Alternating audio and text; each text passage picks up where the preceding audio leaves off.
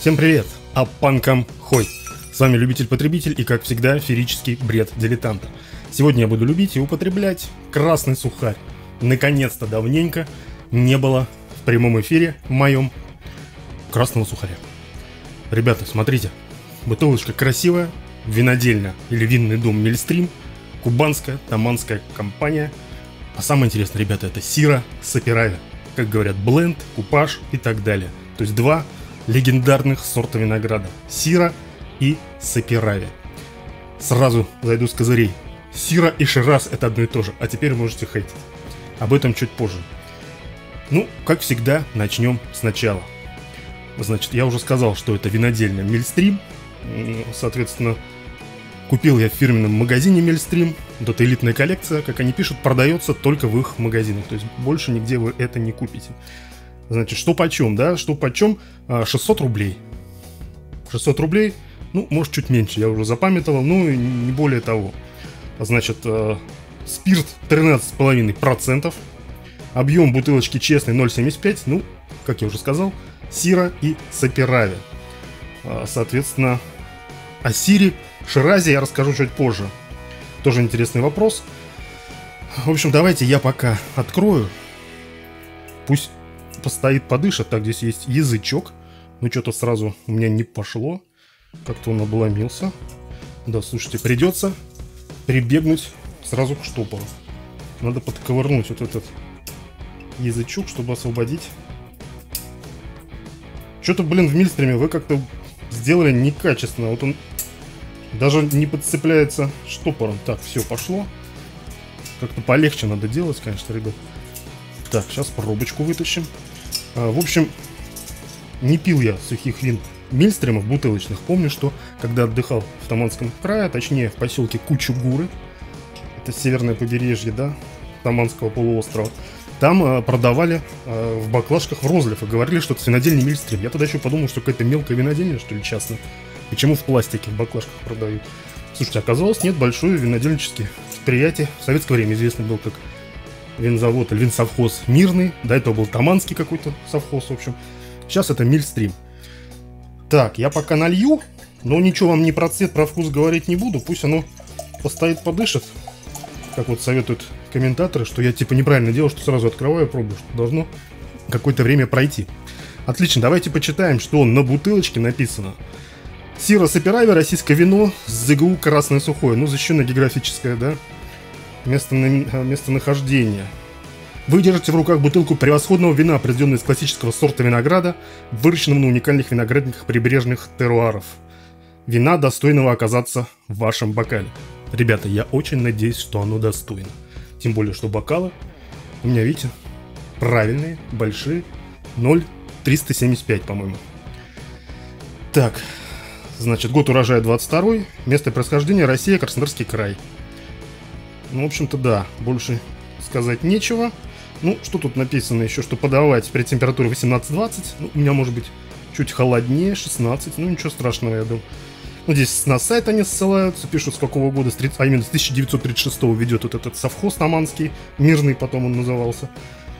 Вот, Мильстрим. Сейчас это винодельнический дом Мильстрим, винный дом, как они пишут. То есть у них там свои мощности, плюс они размещают заказы на других винзаводах. Об этом я уже говорил в своих выпусках по укрепленным винам от Мильстрома. У меня был портвин и Мадера. Посмотрите, кто не смотрел. Кстати, хороший вариант. А, так, ну да, сорта Сира Саперави. Это то, что мы читаем на этикетке. Все. Больше здесь ничего интересного я не нашел. Очень много мелким э, шрифтом, плохо читаемо. Ну вот этикетка такая вот красивая. Ну вы, конечно, все уже видите. Я еще сайт открыл их, причем это недавно появилось на сайте. Я купил в магазине две недели назад, не был на сайте еще. Вот только появилось там буквально сегодня, по прошествии двух недель, то есть вообще навью. Навью.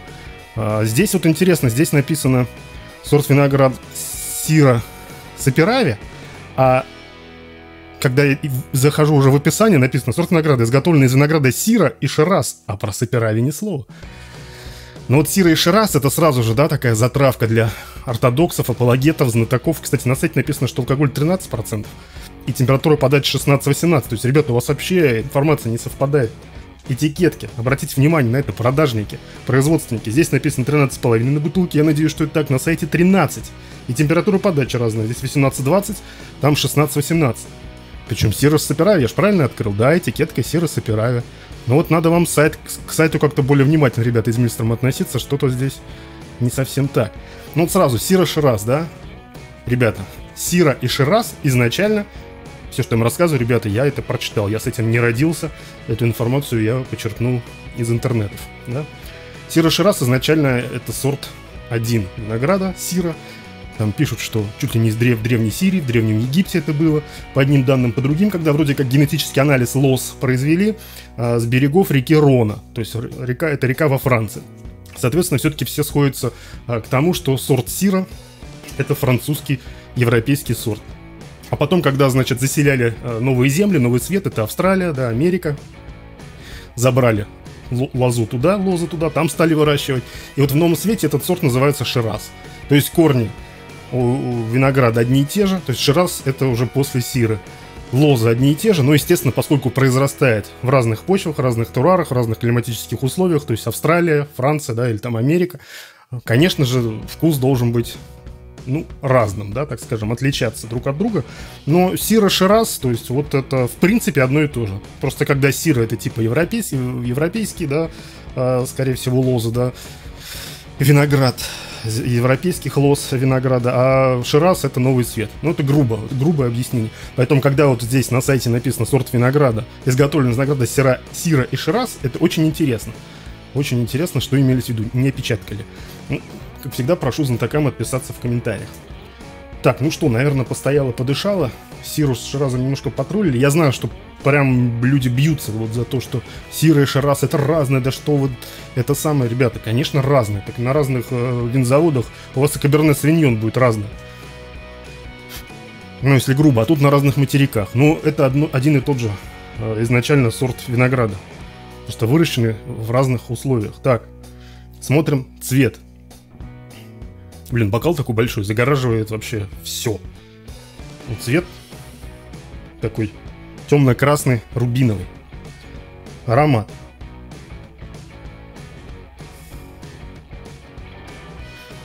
Ну, аромат, слушайте, чем-то Сапирави, конечно, вспоминается мне сразу. Сиру нет, но я сиру очень мало пил, и Шираз тоже вообще не помню, какой он должен быть. Ну, ягодки какие-то, да, красные. Давайте посмотрим, что на сайте написано. Так, сейчас открою. Так, цвет насыщенно рубиновый. Ну, я примерно так сказал, ребята, уже понимаю, что такой цвет называется рубиновый. Хотя, конечно, что-то фиолетового здесь тоже есть. Аромат. Ну, что-то как-то они здесь очень мало написали. Красные ягоды, послен. Послен. Я, кстати, не буду врать, я заранее посмотрел, что такое послен. Вот сейчас открою вам, чтобы прочитать. Что такое послен, ребята? Это родовое название некоторых растений. В скобочках, например, картофель, помидор, а также табак, белина и другие, образующие свое семейство. Вот что имеется в виду, когда они говорят, что в аромате здесь еще есть и послен, помимо красных ягод? Картофель, помидоры, табак или белину? Не знаю, ребят, я здесь... Ну, вот, кстати, нотки табака, у меня был какой-то выпуск, и нотки табака в вине я там ловил, так и не поймал. Во вкусе там поймал только черный перец, реально. Мне понравился. Я не помню, какое вино было. А по-моему, Шираз, кстати, был. Ну, послен, понимаете, картофель или... То есть это цветки, понятно, что это не картошкой должно пахнуть и не помидорами, да, вот эти цветки посленовые. Я не знаю, не, ну, как бы мне это не поймать. Но имейте в виду, да. Но вообще, как бы, как продавец продавал, когда сказал, смотрите, ух ты, у меня есть, говорит, Сира Сапирави. Представляете, два вот таких вот легендарных, таких хороших, э, терпких, э, да, вкуса, мужских таких. Ну, действительно, Сапирави это грузинский тоже легендарный э, аромат. Аромат, виноград. В регионе Кахетия там что только не делают. Ну, это реально, Сапирави, это для любителей, мне тоже нравится. И говорит, ну вот бленд, как сейчас модно говорить, то есть соединение, да, двух видов и купаж, да, либо купаж, говорят. Что говорят, ассамбляж. Да. Ой, что только не говорят. Ну, давайте пробовать на вкус. Сира и Сапирави, два легендарных винограда. Что получилось у ребят из Мильстрим, очень интересно. Я, кстати, вот пока вам не сказал, здесь увидел еще в гугле, кто-то задает вопрос, какой на вкус послен. Сейчас откроем, прочитаем, что там ответил Google на это.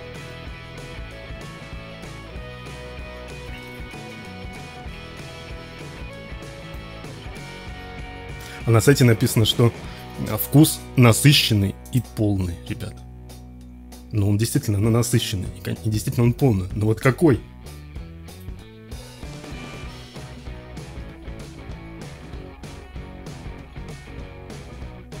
Мне это Сапирави. Больше мне вот э, напоминает Сапирави. Что-то Сира здесь на втором плане. Интересный, интересный вкус. Хороший. Мне нравится. Жду, значит, прихода черного перца под языком. Нет. Ну, что-то такое есть вот, после вкусия. Но не сказал бы. Так, вот что там написали, интересно, на вопрос про вкус послена. Мякоть сочная и сладкая, отвечает на вопрос, с оттенком аромата дыни. Ну нет, конечно. Какой на вкус послен. Ну, в общем, нет. Я так и не понимаю, что такое послен. Кто понимает, напишите в комментариях, с чем сравнить. То есть, ну, реально, это цветочки вот на картофеле и у томатов. То есть, вот это имеется в виду. Такой э, запах, такой вкус. Сира Шираз, да? Слушайте, а на бутылке что? Тут на сайте написано сорт сира и Шираз здесь. Ну и плюс Сапирай, видимо. Нет, здесь просто написано сир и Сапирай, не про какой Шираз. То есть что-то, ребята, у вас на сайте не того, кто там вообще составляет и занимается. Редактор-то есть на сайте какой?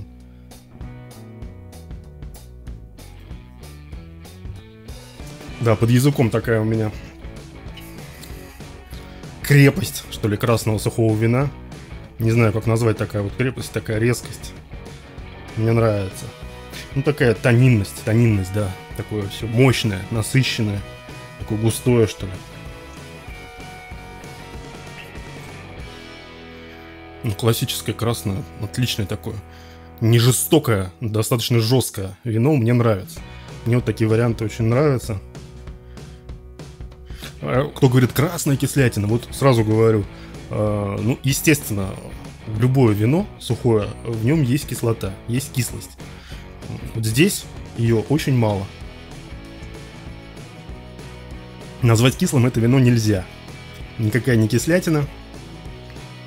Отличное, хорошее, с такими выраженным тонинным вкусом, красными ягодами во вкусе вино.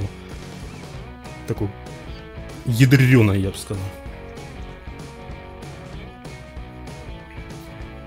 Отлично. Я вот помню, пил какой-то, пробовал Гранд Восток, какая-то винодельня наша, российском Каберне Савиньон, там что-то под 15 градусов был, так там вообще было очень мощно. Здесь, конечно, послабее, но достаточно серьезное красное сухое вино. Пусть еще постоит, подышит.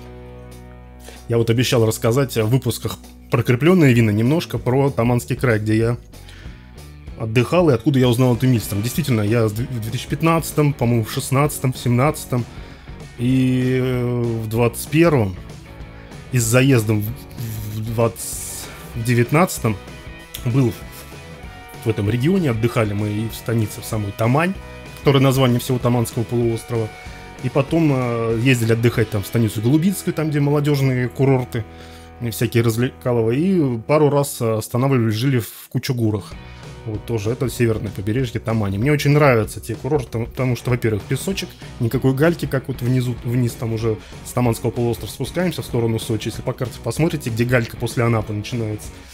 Вот, то есть ногам не больно, песчаный пляж, то есть это у нас есть там и Азовское, у нас, да, в России, это Азовское море у нас по северному побережью Таманского полуострова. И вот он так уходит э, вниз по карте, если посмотрите, там уже Азовское встречается с Черным и плавно перетекать в Черное море. То есть можно там где-то отдыхать. Там уже песочек такой покрупнее, вместе с ракушечником. Он тоже очень мягкий. Хорошо, вода теплее, потому что там помельче, чем э, в Черном море. Если брать какие-то пляжи, ну, естественно, песчаные, она немножко помутнее, там, где галька, да, э, вода, потому что, ну, купаются, вот этот песок э, поднимается кверху. Но если какие-то малолюдные пляжи брать, то вода вообще чистая, прозрачная, хорошая. Везде там эти кубанские станицы. Вы когда едете, я на автомобиле езжу, там отдыхали. Проезжаешь, колорит местный вот этот кубанский, небольшие такие поселочки, станицами называют, на, бере- на побережье стоят, там начинает Темрюка. Везде все сдают. Можно и частный сектор, и автокемпинг, где просто тебе территорию под палатку или под автодом дают. А также сейчас я вот сколько вот в последнее время ездил, куча всяких уже отелей, вплоть до клубных. То есть там с питанием, где-то даже все включено, где-то там только завтрак, обед, где-то по вашему желанию, со своими пляжами, лежаками, все это есть. Посмотрите побережье Таманского э, полуострова. Не смотрите вы только вот э, Черное море, там, начиная от Анапы и вниз, там, да, что у нас там идет Новороссийск, Геленджик, это дальше, дальше к Сачам, там, Лазаревская, там, Лоу, Сочи. Ну, посмотрите наверх, Краснодарский край, Таманский полуостров, где Азовское море, там отличная природа, э, соответственно, песчаные пляжи, вот, и куча тоже всяких курсов. Да, там не так круто, как в самих Сочах, где там строили, да, под Олимпиаду, там супер городский комплекс. Нет, там отели, конечно, поменьше, но в этом и свой колорит. Отели поменьше, там инфраструктура, конечно, там сельская, но вот, например, станица Голубицкая, там все есть аттракционы, там аквапарк, еще что-то, если вам такой отдых для детей нужен. Всякие клубы там какие-то. Поспокойнее отдых, там другие станицы, если вам не нужно это веселье, то найдете на свой вкус. Я вот для нас это было в свое время открытие. Мы туда часто возвращались именно вот из-за хорошего моря, песчаного а, пляжа. Не то, что вот на Черном море, там уже где гальки, где больно там заходить в воду, где куча народу, там где-нибудь Геленджик, какой-нибудь Новороссийск, Анапа. Там я уже не говорю про Сочи с этими бетонными пляжами, с бетонными ограждениями. Все это периодически портит вид на море, да. А, То здесь никакого бетона, никаких городских застроек, и просто там холмы, ну, может, фоточки какие-то пущу или видосики. Холмики такие пес- песчаные, есть обрывчики, просто песчаное побережье. То есть, ну, свой колорит и очень прикольно. Очень прикольно. Поэтому всем рекомендую. Мильстрем я узнал от- оттуда, когда отдыхал, там покупали, э, значит, в разливную, продавали красное сухое каберне. Мне понравилось в баклажках. Сказали с завода. Я, ну, я подумал, ну, пусть и обманывают, попробовал, вам вкус нормально. Нет, оказалось, это вот большущий завод Мильстрим, он там реально можно в розлив купить э, вино. Сейчас вот они свои фирменные магазины по всей стране. В Питере тоже много. Как я в одном видео сказал, наверное, 20-30. Ну, наверное, все-таки поменьше, наверное, где-то 10, может, в Питере магазинов. 15 максимум. Но все равно достаточно. В Москве, конечно, больше. Поэтому я, в принципе, рекомендую присмотреться к продукции Мильстрим, посмотреть фирменные магазины, какие у вас есть в городе. Ну Вот. Цены доступны. Цены доступны. То есть вот хорошее вино за 600 рублей вообще супер. Пупер. Окрепленные вина я пробовал Мадера и Портвейн белый, вообще отличный, там за 600-700 рублей. Отличный вариант. Поэтому я вам э, рекомендую и это вино тоже. Мне оно понравилось, как... э, ну, может быть, я ожидал чего-то большего, какой-то прямо взрыв такой, вау, Сира Саперавио, что прям мне понравится. Нет, конечно, взрыва э, вкуса в моем мозгу и в моем голове не произошло. Но это достойное вино. Достойное красное сухое вино. И качественное. И качественное. Никаких привкусов вот у дешевых, как бывает, красных э, вин, да, там за 200-300 за 300 рублей здесь нет. Это по вкусу это ощущается как вино за 1000 рублей бутылка. Примерно вот так, по моим ощущениям. Сира Саперавина, любители, ребята. Слушайте, вот сейчас постояла подышала, даже в послевкусии что-то сладенькое уже чувствуется под языком. Вот Такой приход э, не кислоты идет, а кис, кис, немно- небо- маленькая кислинка и так много сладостей. Хорошо, хорошо, мне понравилось. В общем, как говорю, пейте кубанские вина. Они хорошие, а то, что не на есть кубанское, таманское вино. Отдыхайте на курортах Краснодарского края, еще лучше курортах Таманского края, Таманского полуострова. Я там был, мне там очень понравилось. Вот. Ну, на сегодня все. Как говорится, всем пока, счастья, любви, здоровья, мирного неба над головой. Ну, а панкам, конечно же, хой.